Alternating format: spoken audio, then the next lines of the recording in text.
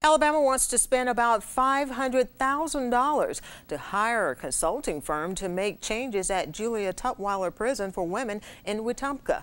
The facility was thrust into the national spotlight over accusations of sexual harassment and abuse.